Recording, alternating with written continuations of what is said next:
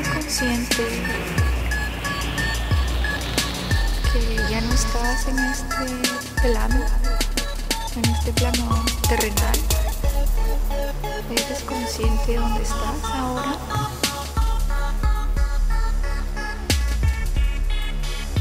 Los que están aquí sepultados son miembros de tu familia.